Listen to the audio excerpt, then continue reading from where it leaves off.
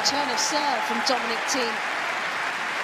Caught Khachanov completely by surprise. If you take the serve away from Dominic Thiem, I don't think he's played too poorly today at all. He's played very well. Mm.